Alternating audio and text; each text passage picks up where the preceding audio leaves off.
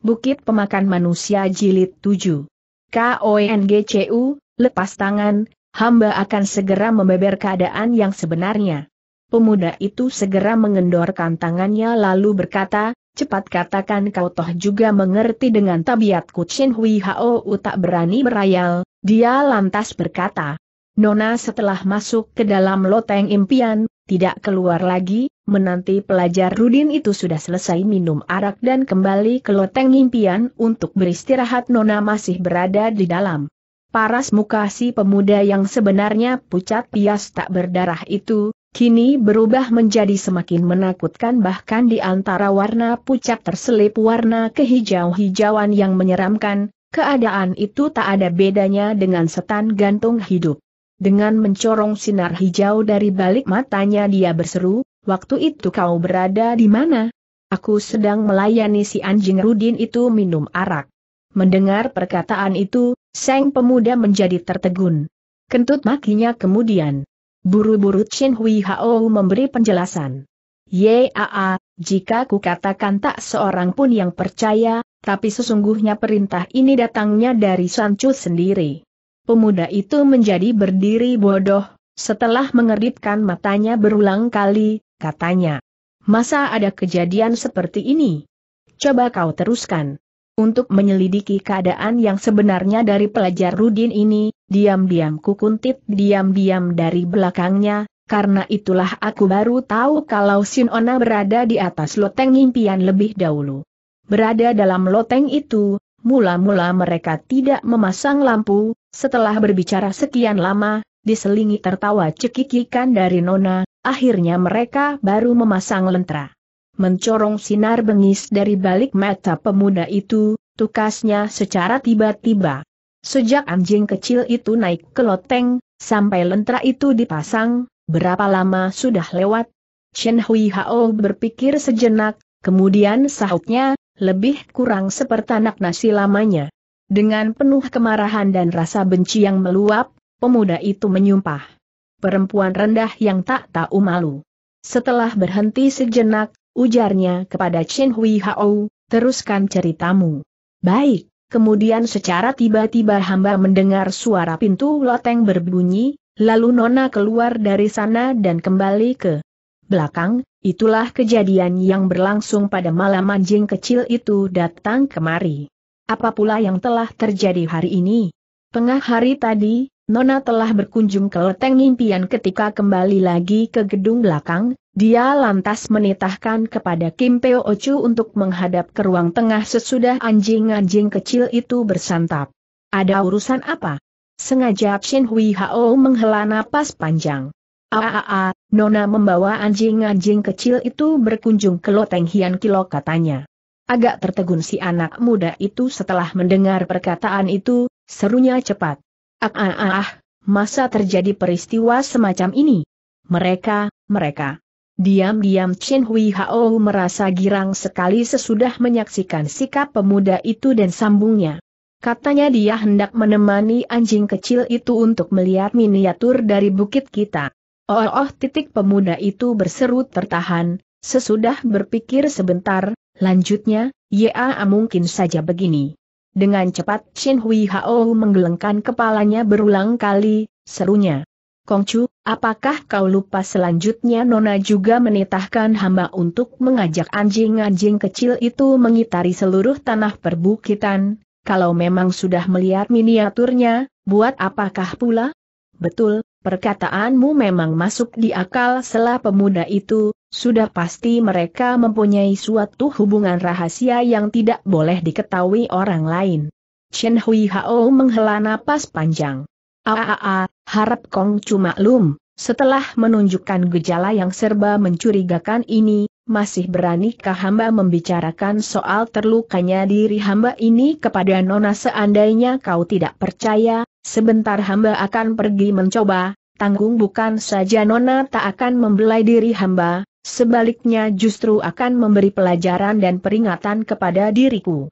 Pemuda itu mengerutkan alis matanya kencang-kencang, kemudian berkata, Chin Hui Hao, kalau begitu cobalah pergi melapor kepadanya setelah berhenti sejenak, kembali ia berkata, Kepulanganku kali ini diketahui siapa lagi?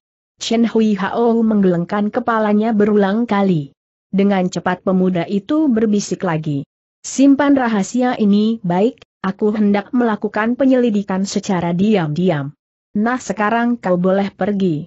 Dengan riang gembira Chen Hui Hao beranjak pergi, dia bersyukur karena siasat liciknya berhasil. Sepeninggalan Chen Hui Hao, pemuda itu pun menggerakkan tubuhnya meninggalkan tempat itu, sekejap kemudian bayangan tubuhnya sudah lenyap dari pandangan mata. Bab 9 Perjamuan malam yang diselenggarakan pada malam ini boleh dibilang merupakan suatu perjamuan yang istimewa. Tempatnya di dalam ruangan tengah perkampungan keluarga Beng, tamu dan cuan rumah berjumlah empat orang. Cuan rumahnya adalah Beng Liao Huan dan Nona, sedang tamunya tentu saja Bauji dan Santiong Lo. Pelayan yang melayani arak selama perjamuan adalah Beng Seng, perjamuan berlangsung dengan riang gembira. Sikap Bauji juga mengalami banyak perubahan, sekalipun dalam sepuluh pertanyaan yang diajukan dia hanya menjawab tiga empat buah, namun sikapnya terhadap orang lain tidak sedingin semula. Dalam perjamuan tersebut, sambil tertawa nona itu bertanya pada Santiong Lo. Kongcu, setelah melihat keadaan dari tanah perbukitan tersebut, bagaimanakah perasaanmu? Santiong Lo tertawa. Bukit ini boleh dibilang sangat berbahaya dan mengerikan sekali sahutnya. Sesudah berhenti sejenak, lanjutnya. Cuma belum bisa dibilang benar-benar dapat makan manusia nona itu cuma berseru pelan dan tidak bicara lagi. Beng Seng yang berada di sisinya segera menyela. Kongcu, mengertikah kau kenapa bukit ini dinamakan bukit pemakan manusia tanda seru? San Tiong Lo menggelengkan kepalanya berulang kali. Justru aku ingin mengajukan pertanyaan ini kepada Nona katanya. Beng Seng memandang sekejap ke arah si Nona, akhirnya dia batalkan niatnya untuk terbicara. Saat itulah Beng Liao Wan segera berkata, Bolehkah Lohu mengajukan satu pertanyaan kepada Kongcu? Silahkan Cheng Chu kata Santiong Lo dengan sungkan. Dengan wajah serius dan bersungguh-sungguh Beng Liao Wan berkata, sekarang Kong Chu sudah memahami peraturan tempat ini terhadap tamu dari luar, dikala batas waktu Kong Chu menjadi tamu agung di tempat ini sudah habis dan harus melarikan diri nanti, ada harapankah bagi Kong Chu untuk kabur dari sini dengan selamat, terutama setelah kasaksikan apa adanya di atas bukit ini? Santiong Lo segera menggelengkan kepalanya berulang kali, katanya. Aku tidak lebih cuma seorang sastrawan, jangankan bukit ini memang berbahaya sekali, sekalipun aku diperbolehkan pergi dengan begitu saja belum tentu aku mampu untuk menyeberangi jeram tersebut dengan begitu saja. Oh, oh, oh kalau begitu, setelah batas waktu Kongcu menjadi tamu agung telah habis, apa rencana Kongcu selanjutnya? Santiong Lo segera menghela napas panjang. Aaii, mungkin terpaksa menunggu tibanya saat kematianku seandainya benar-benar begitu, bukankah Kongcu benar-benar akan dilalap oleh bukit ini kata Beng Liao Huan dengan kening berkerut. Santiong Lo menggelengkan kepalanya berulang kali ujarnya, bukit tak bisa makan manusia, tapi samudera dapat menelan. Manusia, Seandainya aku benar-benar harus mati setelah batas. Waktuku menjadi tamu agung di sini habis, maka kematianku itu disebabkan oleh sekawan manusia jahat, dengan bukitnya sendiri sama sekali tak ada sangkut pautnya. Kongcu, kau menuduh ayahku adalah orang jahat tegur Sinona dengan kening berkerut. Dengan wajah serius Santiong Lo berkata, Bila aku bicara terus terang nanti, diharap Nona jangan marah, Terus terang saja ayahmu adalah manusia yang amat jahat, bahkan merupakan pemimpin dari sekawanan manusia jahat dia adalah gembong iblis pembunuh manusia. Mendengar perkataan itu, Sin Ona segera bangkit berdiri dari tempat duduknya, dan dengan suara dalam serunya. Besar benarnya limu, sungguh berani mengucapkan kata-kata seperti itu tanda seru. San Tiong Lo tertawa. Jangan marah dulu Nona, terlebih dulu aku mohon maaf kepadamu Nona dan lagi, Nona pun jangan lupa, sekarang aku masih tamu agung dari bukit kalian. Nona itu mendengus. Sekalipun begitu, pantaskah kau memberi kritikan terhadap tuan rumahnya? Aku rasa ini sudah seharusnya jawab pemuda itu sambil tertawa hambar. Nona itu segera mencibirkan bibirnya, dengan tidak senang hati dia berseru. Seharusnya begitu? Kenapa Santiong Lo tertawa? Kalau toh di Ruya ini terdapat tuan rumah yang menghormat tamunya sebagai tamu agung lebih dulu, kemudian setelah lewat batas waktunya menjegal tamu agungnya dengan sekehendak hati, maka sudah sepantasnya jika di dunia ini pun terdapat tamu agung yang makan makanan tuan rumah, minum minuman tuan rumah, tapi mencaci maki pula tuan rumah. Mendengar ucapannya yang mencampur baurkan antara kata tuan rumah dengan tamu agung itu, lama-kelamaan nona itu menjadi geli sendiri sehingga akhirnya tertawa cekikikan. Setelah tertawa, berkatalah nona itu, pandai benar kau berbicara, bagaimana kalau kita jangan mempersoalkan masalah ini lagi? Santiong Lo juga turut tertawa. Betul, sekarang adalah waktunya untuk bersantap, kita memang tidak boleh berbicara lagi. Maka semua orang pun mulai bersantap dan tidak berbicara apa-apa lagi. Senda gurau antara Santionglo dengan si Nona, serta sebutan mereka yang menggunakan istilah kita dengan cepat membuat seorang pemuda yang bersembunyi di luar jendela menjadi mendongkol setengah mati hingga dadanya hampir saja meledak. Selesai bersantap dan air teh dihidangkan dengan supel nona itu berkata kepada Santionglo. Kongcu, masih ingatkah kau akan satu persoalan Santionglo menggelengkan kepala berulang kali? Sayar, daya ingatanku jelek sekali, tolong nona suka mengingatkannya kembali. Dengan mata melotot nona ini mendelik sekejap ke arah Santionglo, kemudian serunya. Hei, kau benar-benar tidak ingat, ataukah pura-pura berlagak tidak ingat? Harap Nona MDI memaafkan, aku benar-benar kelupaan. HMM. Agaknya kau tidak ada urusan lagi yang hendak dibicarakan denganku sekarang? Mendengar perkataan tersebut, dengan cepat Santionglo memahami kembali maksud perkataan dari Nona itu, cepat dia tertawa. Ah ah ah, tidak, tidak, Nona, sekarang aku sudah teringat kembali. Kalau begitu katakan sekarang, atau lebih baik kita berpindah tempat saja? Dengan sorot matanya Santiong Lo memperhatikan nona itu sekejap, ketika dilihatnya nona itu memang berminat untuk berganti tempat, maka sahutnya.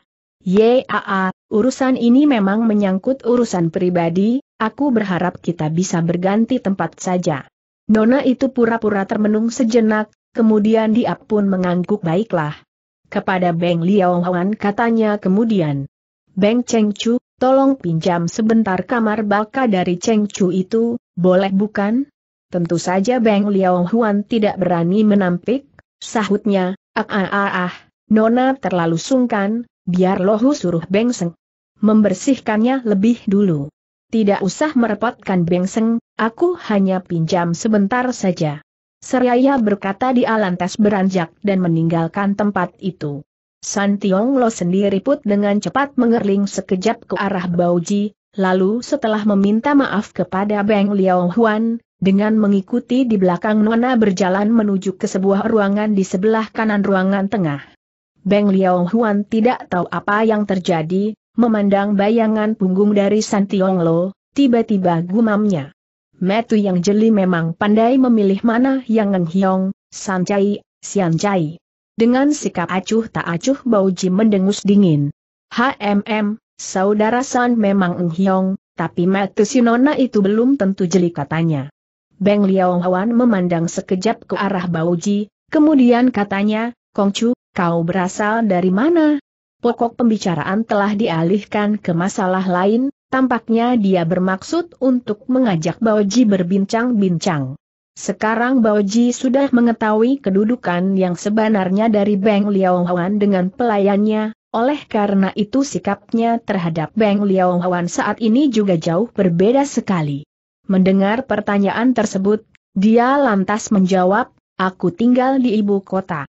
Beng Liao Huan tertawa kembali ujarnya. Jika Kongcu bersedia memaafkan kecerobohan Lohu, ingin sekali Lohu mengajukan satu pertanyaan lagi. Ah ah ah, ah mana aku berani, bila Cheng Chu ada pertanyaan, silahkan saja diutarakan. Beng Liao Hwan memandang sekejap ke sekeliling tempat itu, kemudian sambil merendahkan ucapannya dia bertanya. Karena soal apakah Kongcu berkunjung ke atas bukit ini soal ini, sepasang alis Baoji segera berkenyit kencang.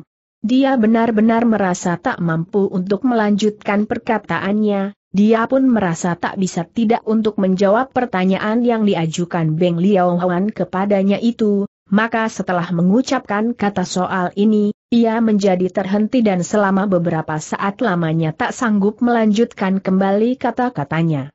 Beng Liao Huan adalah seorang jago kawakan yang sudah lama melakukan perjalanan di dalam dunia persilatan tentu saja dia pun dapat mengetahui kesulitan orang, maka dengan perasaan minta maaf katanya. Lohulah yang salah, tidak seharusnya mengajukan pertanyaan yang menyusahkan diri Kong Chu. Belum habis dia berkata, Baoji telah menyambung. Aku datang kemari untuk beradu untung. Jawaban ini sama sekali di luar dugaan Beng Liao Huan, untuk beberapa saat dia sampai tertegun dibuatnya. Ada untung apa Bao JL tertawa. Ada orang yang hilang di sini, aku bertanggung jawab untuk menemukannya kembali, sudah setahun lamanya seluruh dunia persilatanku jelajahi tanpa hasil, kata teman, kemungkinan besar orang itu berada di bukit pemakan manusia. Siapakah nama orang yang sedang Kong Chu cari itu tanpa terasa Beng Liao Hwan bertanya lagi. Mendengar perkataan itu, satu ingatan dengan cepat melintas di dalam benak Bauji, sahutnya kemudian, orang itu Shikwan aku rasa Cheng Chu tak akan kenal dengannya. Beng Liao Hwan segera tertawa getir. Sudah puluhan tahun lamanya Lohu berdiam di sini, tidak sedikit orang yang pernah ku jumpai selama ini, ada yang temanku, ada pula yang merupakan musuh Lohau, karena itu aku berniat untuk menanyakan nama dari orang yang sedang dicari Kong Chu itu. Apakah ada yang Shikwa Bauji?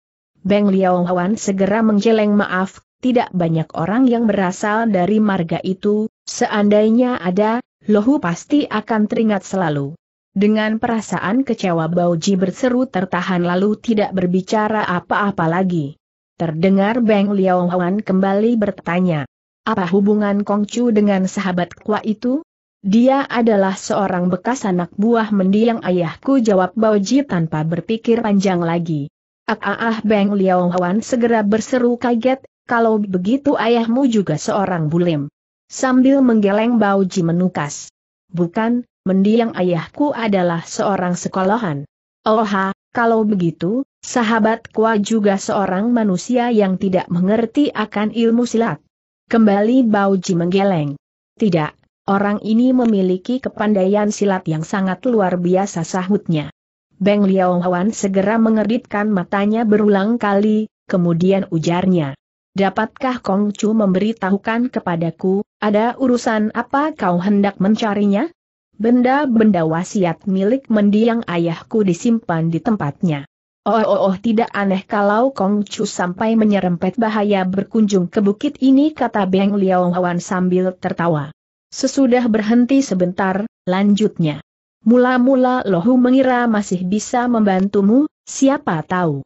Terpaksa aku meminta maaf. Ah ah ah ah, tidaklah menjadi soal, kata Baoji sambil tertawa. Aku percaya cepat atau lambat suatu hari nanti orang itu pasti dapat kutemukan kembali. Beng Liao Hwan memandang sekejap ke arah Bauji, kemudian dengan mengandung maksud lain katanya. Lohu dengar ketika menyerbu ke atas bukit ini Kongcu kena ditangkap dan tinggal di sini sebagai tamu agung, itu berarti kepandaian silat yang Kongcu miliki lihai sekali. Tidak terhitung lihai tukas Bauji, kalau tidak, tak nanti aku sampai kena ditangkap. Beng Liao Huan mengerutkan dahinya, kemudian berkata, Maaf Lohu akan banyak berbicara, bila batas waktu Kong Chu menjadi tamu agung telah habis, kau harus kabur dari sini, apakah kau sudah mempunyai sesuatu rencana untuk melarikan diri dari tempat ini? Satu ingatan segera melintas dalam benak Bauji, katanya, Aku sama sekali belum melakukan persiapan apa-apa setelah berhenti sejenak, dengan suara rendah terusnya, apakah Cheng Chu hendak memberi petunjuk kepadaku? Beng Liao Huan menggeleng sambil menghela nafas sedih, sahutnya. Lohu tak lebih hanya seorang manusia cacat yang tak berguna, seandainya aku mempunyai care yang bagus, buat apa aku mencuri hidup sampai sekarang? Apalagi belasan tahun belakangan ini, mendadak ia berhenti berbicara dan mengalihkan sinar matanya keluar pintu ruangan. Waktu itu Baoji duduk di sisi pintu ruangan, melihat itu dia pun turut berpaling ke sebelah kanan. Ternyata Chong Kuan Chin Hui Hao entah sedari kapan sudah berdiri di sana dengan wajah menyeramkan. Baoji segera mendengus dan melengos ke arah lain, dengan langkah lebar Chin Hui Hao segera melangkah masuk ke dalam. Ia berhenti pada lebih kurang tiga jengkal di hadapan Beng Liao Huan, kemudian dengan suara dalam serunya. Beng Cheng Chu, apakah kau tidak merasa sudah terlalu banyak berbicara? Loh justru ucapanku terlampau sedikit. Jawab Beng Liao Hawan sambil mengelus jenggot. Chen Hui Hao mendengus dingin. Beng Cheng Chu, Lohau nasihati dirimu lebih baik bersikaplah cerdik sedikit. Jangan menganggap ada orang yang menyanggah dirimu dari belakang, maka kau boleh berbicara secara sembarangan dan ketahuilah bencana itu datangnya dari banyak mulut. Beng Liao Huan, Apakah kau masih mendendam terhadap peristiwa di masa lalu seru Chen Hui Hao dengan alis mata berkernyit dan sinar mata memancarkan cahaya buas. Beng Liao Huan melotot besar. Sekalipun demikian, mau apa kau? Heeh, koma eh titik heeh Beng Liao Huan, kau tahu bukan saat ini Sancu tidak berada di atas bukit.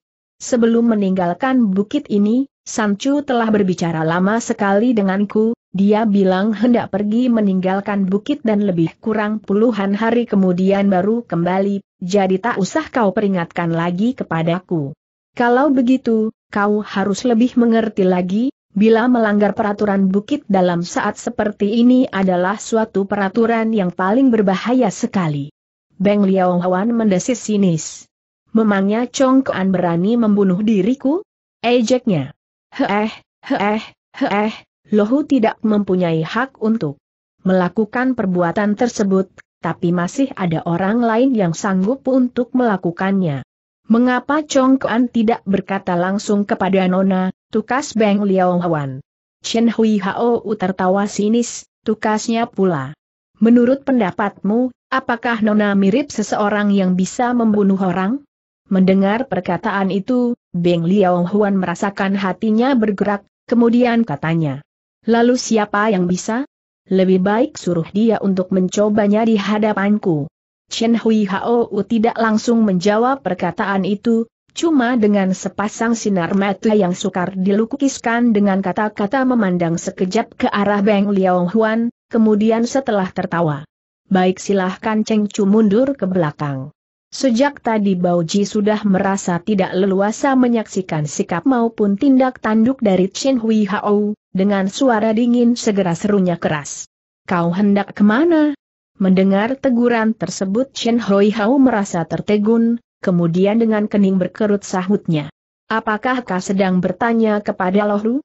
Bauji mendengus dingin, Ye Kong Cumu memang sedang bertanya kepadamu. Chen Hui Hao segera mendongakkan kepalanya dan tertawa terbahak-bahak. Haah, haah, hah, kau bertanya lohu akan ke mana? Hah, titik haah, haah, memangnya kau berhak untuk mengajukan pertanyaan tersebut? Kong Cumu setelah berani bertanya tentu saja merasa berhak untuk mengajukan pertanyaan itu. Mencorong sinar buas dari balik mata Chen Hui Hao, serunya. Orang Shisan, kau anggap dirimu itu seorang pemimpin dari bukit ini. Baoji sama sekali tidak menanggapi ucapan tersebut, sebaliknya malahan berkata, Chen Hui Hao, Kong Cumu hanya akan memberitahukan kepadamu, sekarang nona kalian sedang berada di belakang dan merundingkan sesuatu dengan Sang Kong Chu tersebut. Perasaan Chen Hui Hao segera tergerak setelah mendengar perkataan itu selanya, kenapa pula kalau begitu? Itu berarti, pada saat ini ada baiknya kau jangan mengusik nona kalian itu. Chen Hui Hao tidak menyangka kalau Baoji bisa mengucapkan kata-kata seperti itu, untuk sesaat lamanya dia tak tahu bagaimana harus menjawab perkataan tersebut. Sementara dia masih kebingungan terdengar Baoji berkata lagi setelah tertawa dingin. Apalagi Kong Cumu memang ada persoalan hendak dibicarakan dengan dirimu. Menggunakan kesempatan ini Chin Hui Hao segera memutar kemudi mengikuti hembusan angin, katanya dengan cepat. Katakan, kau ada urusan apa? Seraya berkata dia lantas mengambil bangku dan duduk, betul juga, ia tidak berani mengusik nonanya. Baoji melirik sekejap ke arahnya, kemudian berkata, Sore tadi, bukankah kita berjalan-jalan di bukit bagian belakang? Benar, memang bukit bagian belakang.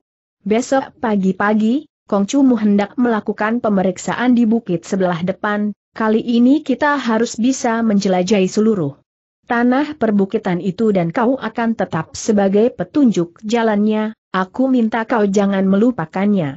Mendengar perkataan itu, Chen Hui Hao segera mendengus dingin. Maaf, besok aku tak dapat menemani sahutnya. Sengaja Bao Ji melototkan sepasang matanya bulat-bulat, kemudian berseru. Kalau memang begitu, katakan sendiri kepada Nona, Chen Hui Hao sama sekali tidak menjadi takut, malahan dia tertawa terkekeh. Heh, heh titik heh, aku khawatir kali ini Nona tak bisa mencampuri urusan ini lagi. Bao Ji tertawa dingin. Kau bersedia pergi atau tidak? atau nonamu bisa mencampuri urusan ini atau tidak, semuanya adalah persoalan kalian sendiri, pokoknya Kong Cumu telah memberitahukan kepadamu, bila besok tak ada yang jadi petunjuk jalan. Kalau tak ada yang menjadi petunjuk jalan, mau apa kaselat Shin Hui Hao? Baoji mendengus dingin. Kong Cumu bisa berbuat apa, lihat saja sampai waktunya nanti Shin Hui Hao segera tertawa lebar. Kalau memang begitu, kita buktikan saja setelah sampai pada waktunya nanti, maaf, aku tak bisa menemani lebih jauh. Di tengah pembicaraan tersebut, sekali lagi Chin Hui Hao bangkit berdiri dan beranjak dari ruangan tersebut. Dengan sorot mata yang tajam Baoji awasi bayangan punggungnya Chin Hui Hao sehingga lenyap dari pandangan mata, dia merasa sikap orang tersebut pada malam ini sangat istimewa sekali. Agaknya Beng Liao Huan juga telah melihat kalau gelagat tidak beres, menanti bayangan tubuhnya dari Chin Hui Hao sudah lenyap dari pandangan matanya dia baru berbisik kepada Bao Ji. San Kongcu, tidakkah engkau melihat kalau tindak tanduk keparat itu kiranya agak mencurigakan? Yaa, tampaknya dia seperti mempunyai tulang punggung baru yang menunjang dirinya dari belakang sahut Ji dengan kening berkerut kencang. Dengan nada yang semakin merendah, Beng Liao Hawan berbisik kembali. San Kongcu, ada satu hal lupa lohu kemukakan karena semula merasa tidak penting, tapi seandainya tua bangka si Chen itu benar-benar sudah memiliki tulang punggung baru, maka lohu bisa menduga siapakah orang itu. Ketika dilihatnya sikap Beng Liao Huan berubah menjadi serius sekali, Ji segera dapat merasakan juga berapa seriusnya persoalan itu, dengan memperendah pula dia bertanya. Siapakah orang itu? Kakak angkatnya Nona, dia adalah murid paling tua dari Sancu Bukit ini, konon merupakan keponakan angkat dari Sancu sendiri. Oh, oh, oh siapakah nama orang ini? Apakah kekuasaannya jauh di atas kekuasaan Nona? Orang ini Shi Hong bernama Ite Hong, kepandaian silat dan tenaga dalam yang dimilikinya sudah mendapat seluruh warisan langsung dari Sanchu, kehebatannya memang jauh di atas kepandaian Nona, lagi pula hatinya kejam, buas dan tidak berperi kemanusiaan. Setelah berhenti sejenak, terusnya, oleh karena dia adalah murid tertua dari Sanchu, lagi pula masih terhitung keponakan Sanchu sendiri, ilmu silatnya juga sangat lihai, maka sejak beberapa tahun berselang, tiap kali Sancu pergi meninggalkan bukit karena ada urusan, kekuasaan yang paling besar di atas bukit ini pun diserahkan kepadanya. Tapi, bagaimanapun juga, sikapnya terhadap Nona tentunya tak berani sewenang-wenang bukan tanya Bauji. Bagaimanakah keadaan yang sebenarnya tak seorang manusia pun yang tahu tapi menurut pengamatan Lohu selama banyak tahun, belakangan ini, aku rasa ada kemungkinan besar Sancu ingin menjodohkan Nona kepada Hong Ite Hong. Oh, oh, oh, begitukah jalan ceritanya? Sungguh membuat hati orang merasa tidak habis mengerti, Tukas Bauji dengan wajah yang tertegun. Beng Seng yang berdiri di samping segera menimbrung pula dengan suara rendah. Apanya yang perlu diherankan? Sancu ada minat untuk menjodohkan Nona kepada Hong Ite Hong, mesti belum diucapkan secara terang-terangan, tapi diam-diam agaknya masing-masing pihak sudah setuju, baik Nona maupun Hong Ite Hong sendiri juga mengetahui akan hal ini. Sesudah berhenti sejenak, kembali ujarnya. Bagaimanakah watak serta perangai dari orang Shi Hong tersebut? Seperti apa yang telah-telah Lohu katakan tadi, orang ini berhati kejam, buas dan tidak berpenkemanusiaan. Apakah Nona tidak salah memilih orang tanya Bauji dengan kening berkerut? Beng Seng segera menghela nafas panjang, aaai Nona. Berwatak halus berbudi dan lagi cerdik, cuma saja, cuma saja. Ia tak dapat melukiskan kesulitan yang sedang dihadapi nonanya, maka sampai setengah harian lamanya dia masih tak mampu untuk melanjutkan kembali kata-katanya itu. Terdengar Beng Liao Wan berkata pula, pertama, Nona terpengaruh oleh desakan ayahnya. Kedua, wajah Hong Ite Hong, terhitung lumayan juga, kecuali dengan mata kepala sendiri. Ia saksikan kebuasan, kekejian dan kebusukan sifat orang itu, rasanya memang sulit untuk menemukan kejahatan serta kebusukannya itu.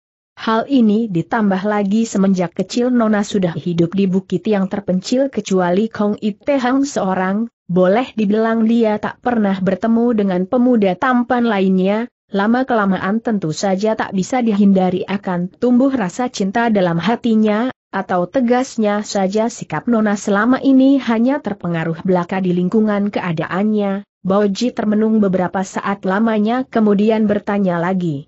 Sampai di manakah kesempurnaan tenaga dalam yang dimiliki orang Shihong itu?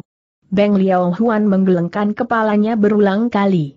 Susah untuk dibicarakan, katanya, berbicara dengan kepandaian silat yang kumiliki dahulu, paling banter aku cuma bisa bertahan 50 gebrakan saja, sekalipun kukerahkan segenap kepandaian silat yang kumiliki untuk melangsungkan pertarungan mati hidup, paling banyak juga masih bisa bertahan 10 gebrakan lagi. Bauji merasakan hatinya tergerak, cuma ia tidak berbicara apa-apa lagi.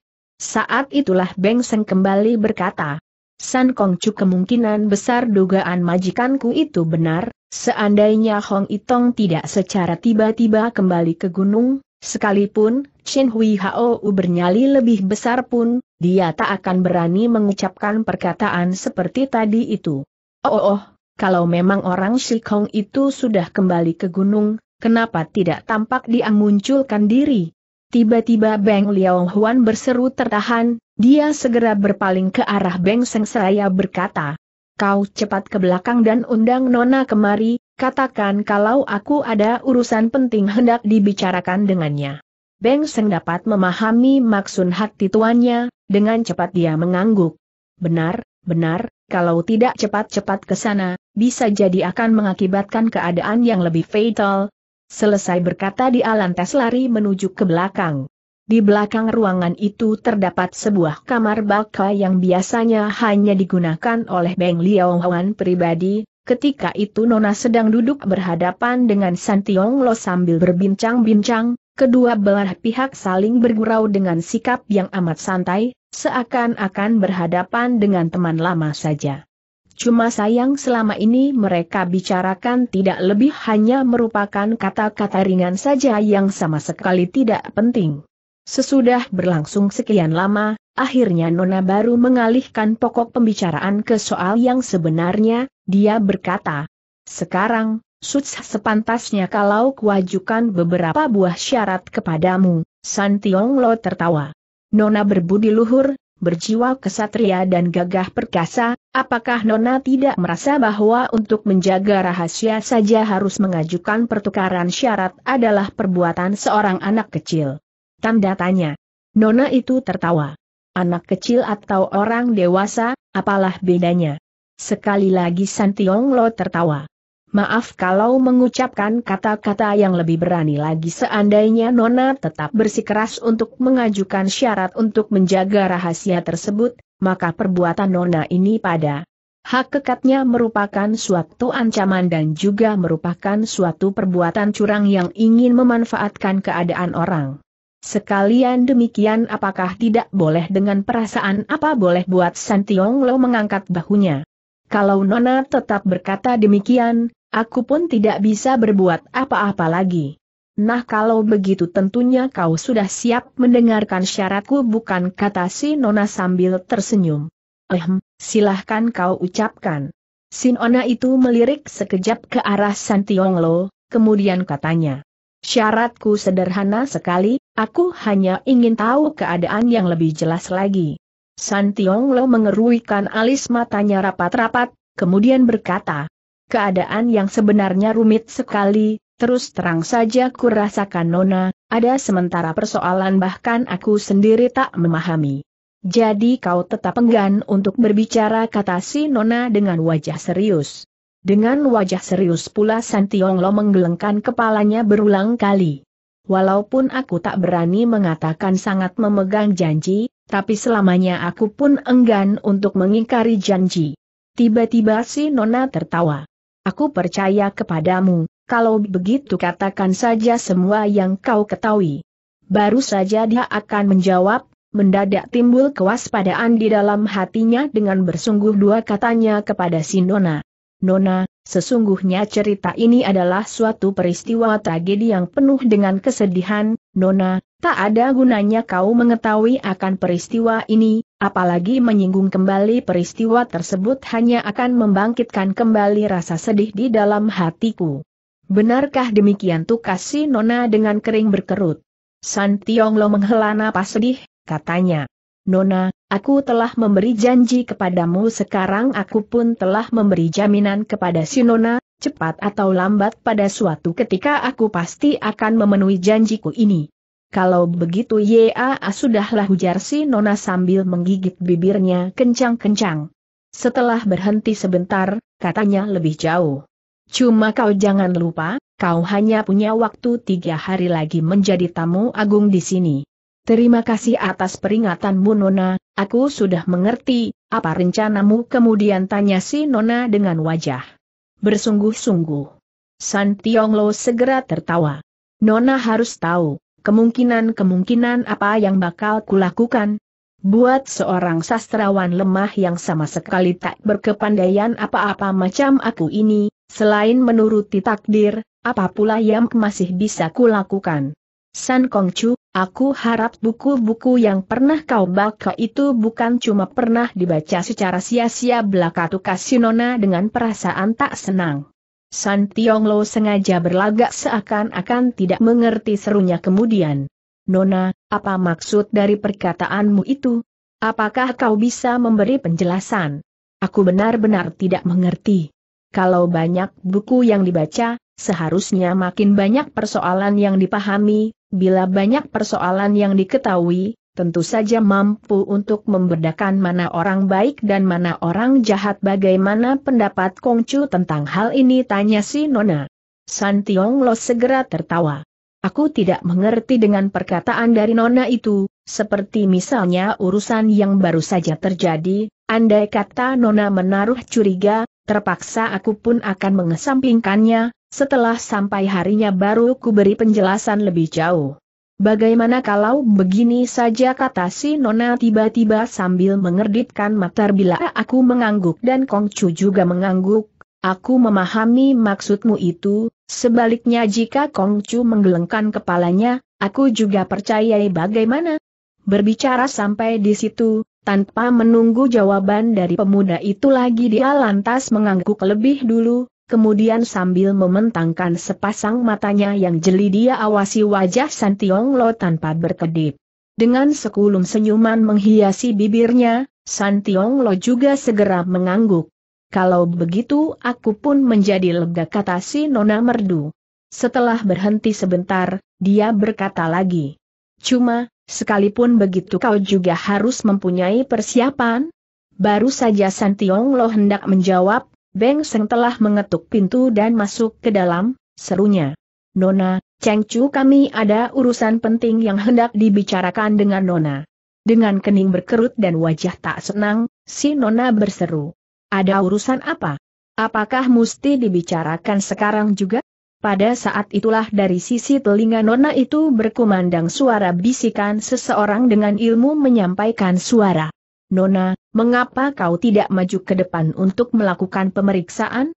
Coba lihat, di belakang jendela dalam kamar baka ini ada sesosok bayangan manusia yang sedang menyadap pembicaraan kita. Orang ini sudah tiba cukup lama, tenaga dalamnya juga lihai sekali, harap Nona suka berhati-hati. Kebetulan sekali, Beng Seng juga sedang menjawab ketika itu.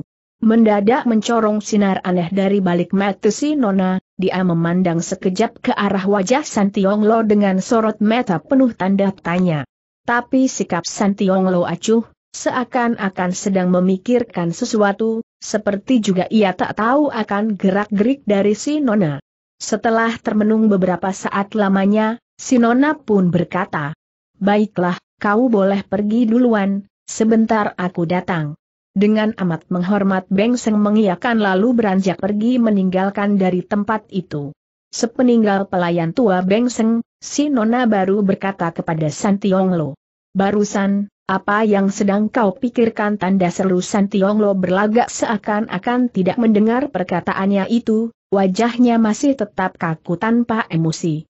Nona itu segera mengerutkan dahinya, mendadak dia membalikan badan dan langsung menerjang ke mulut jendela di belakang ruang boka tersebut. Hong Itehang yang menyembunyikan diri di luar jendela, sama sekali tidak menyangka sampai ke situ, tentu saja dia pun tak sempat untuk menghindarkan diri. Begitu mengetahui siapa yang berada di situ dengan wajah sedingin salju Nona itu segera menegur. Hong Itehang, sebenarnya apa maksudmu? Merah padam selembar wajah Hong Ite Hang karena jengah. Adik Kim, apa pula yang kau maksudkan ia balik bertanya. Sejak kapan kau pulang ke gunung bentak si Nona lagi? Barusan saja. Nona itu segera mendengus. Memangnya kau sudah kehilangan sukmamu di luar jendela dari kamar baka ini? Adik Kim, apa pula maksud perkataanku itu? Hong Ite Hang balik bertanya sambil berkerut kening. Jika kau tidak kehilangan sukmamu di situ, kenapa baru pulang gunung bukannya suruh orang memberi kabar kepadaku, sebaliknya dengan sikap macam maling mencuri dengar pembicaraan orang di luar jendela? Hongel Tehang memang tidak malu disebut seorang manusia yang licik dan banyak akalnya, setelah tertawa sahutnya. Ah ah ah ah, rupanya adik Kim salah paham apanya yang salah paham? Adik Kim, Sesungguhnya kejadian ini memang merupakan suatu kesalahan paham, ketika Xiao Heng pulang gunung, tak seorang manusia pun yang kujumpai, ketika aku mengitari ruang belakang untuk menuju ke loteng kediamanmu dan bermaksud untuk membuat kau merasa terkejut bercampur dengan girang. Kejutnya memang ada, tukas si Nona, cuma girangnya telah berubah menjadi mendongkol. Sekulum senyuman manis masih menghiasi ujung bibir Hong Ite Hong, katanya. Adik Kim, dapatkah kau memberi kesempatan pada Xiao Heng untuk menyelesaikan kata-kataku? Cukup, aku tak sudi mendengarkan perkataanmu lagi lalu si Nona sambil membanting daun jendela itu keras-keras. Walaupun daun jendela sudah tertutup kembali, namun suara Hong Ite Hang manis juga berkumandang. Adik Kim, paling tidak kau harus percaya bahwa Xiao Heng bukanlah dewa, aku tidak mengira kalau pada malam ini adik Kim sedang mempunyai janji dengan seorang teman di ruang bacanya Beng Cheng Chu. Mendengar perkataannya pemuda itu makin lama semakin ngelantur tidak karuan, si Nona menjadi naik darah, segera tukasnya. Memangnya hal ini tak boleh. Huang Ite Leong segera tertawa keras. Ha-ah, ha-ah, ha-ah, Adik Kim mengapa kau berkata demikian? Xiao Heng tak bermaksud apa-apa, aku pun tidak bermaksud untuk menyadap pembicaraan kalian, kejadian ini cuma suatu kesalahan paham, mengenai. Kuanjurkan kepadamu, kurangi permainan licikmu di hadapanku sekali lagi Sin Ona menukas dengan suara dalam, setiap kali kau pulang gunung, tak pernah ketinggalan Shin Hui Hao. Pasti kau cari lebih dulu, sedang mengenai penjelasanmu soal menyadap pembicaraan kami HMMM perbuatanmu itu hanya suatu tindakan yang berlebihan. Dengan perasaan apa boleh buat terpaksa Hong Ite Hang menghela nafas panjang katanya. Kalau toh adik Kim tidak memberi kesempatan kepada Xiao Heng untuk memberi penjelasan, terpaksa Xiao Heng akan turut perintah.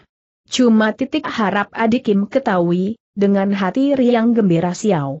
Heng pulang ke rumah, sebetulnya aku ingin melepaskan rinduku kepadamu, tapi kini. Cukup banyak yang sudah ku dengar, lebih baik kurangi sedikit perkataanmu, tukas si Nona dengan cepat. Baik, baik, Xiao Heng tak akan berbicara lagi, setelah berhenti sebentar, lanjutnya lagi. Oh, oh benar, adik Kim. Dapatkah aku berkenalan dengan sahabat yang berada di dalam kamar baka siapakah dia? Siapa namanya? Besok toh kalian bakal bertemu sendiri, buat apa mustiku perkenalkan pada saat ini? Tiba-tiba Santiong Lo berkata, Aku yang muda adalah Santiong Yo, boyah aku tahu siapa nama besar saudara. Begitu mendengar jawaban dari Santiongio dengan cepat Hong Ite Hang mendorong kembali daun jendela itu, lalu sahutnya. Aku bernama Hong Ite Hong. Belum habis dia berkata, tiba-tiba si Nona telah mengayunkan tangannya. Blaam. Daun jendela itu segera dibantingnya keras-keras hingga menutup kembali. Memang tidak salah namamu Hong Ite Hong, tapi bukan caranya untuk sembarangan menongolkan kepalanya lewat jendela untuk bertemu dan berbicara dengan orang, tata kesopanan dari manakah yang telah kau pelajari itu? Paras muka Hong Ite Hong, waktu itu tak sedap dipandang, mukanya merah padam seperti babi panggang, bibirnya pucat menahan emosinya, sedangkan sinar matanya memancarkan cahaya kehijau-hijauan yang mengandung kebencian, cuma sayang terpisah oleh daun jendela sehingga mereka yang berada dalam ruangan tidak sempat melihatnya. Api kegusaran serasa membakar seluruh perasaan Hong Ite Hong, setelah mendengus dingin teriaknya. Nona Kim, beginikah sikapmu terhadap diriku tanda seru? Entah mengapa, ternyata si Nona juga tak dapat mengendalikan kobaran api amarahnya, dengan lantang dia menyaut. Kalau aku tidak bersikap demikian kepadamu, lantas aku mesti bersikap bagaimana tanda seru. Nona Kim, kau paham aku pun paham. Aku tidak paham tuh kasih Nona dengan gusar, beginilah sikapku terhadap setiap manusia yang bermain sembunyi semacam cucu kura-kura. Huang Itong segera mendengus berulang kali, tanpa banyak berbicara lagi ia tinggalkan tempat itu dengan langkah lebar. Didengar dari langkah kakinya, San Tiong Lo segera mengerti kalau Hong Ite Hong sebenarnya belum jauh meninggalkan tempat itu maka dia sengaja memandang sekejap ke arah si Nona, kemudian dengan kening berkerut katanya. Nona, kau telah menyinggung perasaannya. HMM. Toh dia sendiri yang mencari gara-gara sahut si Nona Samuel mendengus. Nona, apa sih kedudukannya di dalam bukit ini? Dan apa pula hubungannya denganmu? Sinona memandang sekejap wajah Santionglo, kemudian tanyanya. Kenapa kau menanyakan persoalan ini? Tampaknya dia sudah menaruh curiga kepada Xiao Seng, oleh karena itu. Siapa suruh dia memikirkan yang bukan-bukan tukas Nona, Santionglo menggelengkan kepalanya berulang kali. Dari nada pembicaraannya itu, dapat ku dengar kalau dia sangat memperhatikan diri Nona katanya. Nona itu tidak menjawab, Sedangkan wajahnya yang dingin pun belum lagi luntur. Bab 10 Santiong Lo pun melanjutkan kembali kata-katanya selama beberapa hari ini, sudah pasti aku akan bertemu muka dengannya, maka sedilah kiranya Nona memberi petunjuk kepadaku tentang asal-usul dan kedudukannya. Jawaban si Nona sangat datar. Dia adalah putra adik angkat ayahku, juga merupakan murid dari ayahku. Santiong Lo memandang lagi wajah si Nona kemudian tanyanya. Cuma dua macam kedudukan ini saja? Memangnya belum cukup Santiong Lo tertawa.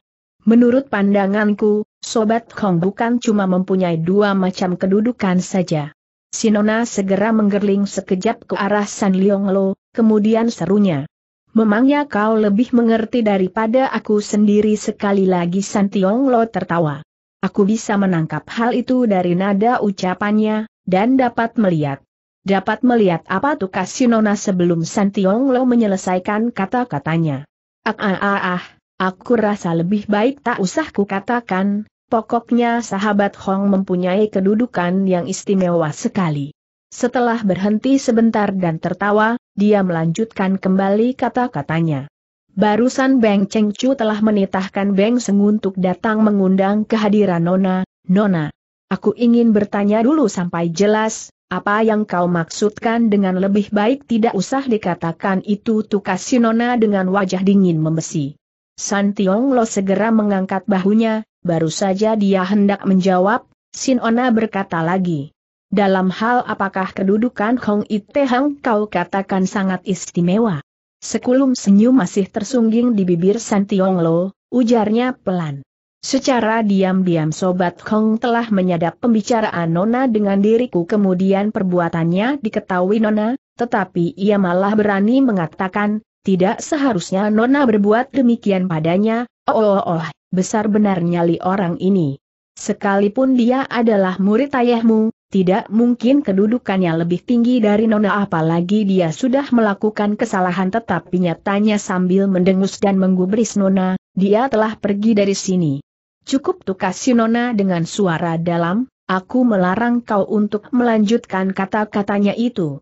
San Tiong Lo segera memperlihatkan sikap apa boleh buat, katanya kemudian. Adalah Nona sendiri yang memaksa aku untuk menjawab, kalau tidak aku tak akan mengucapkan kata-kata seperti itu.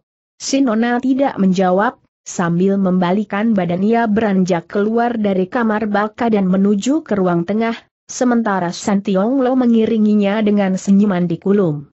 Setelah masuk ke dalam ruangan, Nona itu menghampiri Beng Liao Huan, seraya berjalan tegurnya. Ada urusan penting apa? Hong Sau Hiap telah pulang sahut Beng Liao Huan. Hanya persoalan ini? Beng Liao Huan manggut-manggut.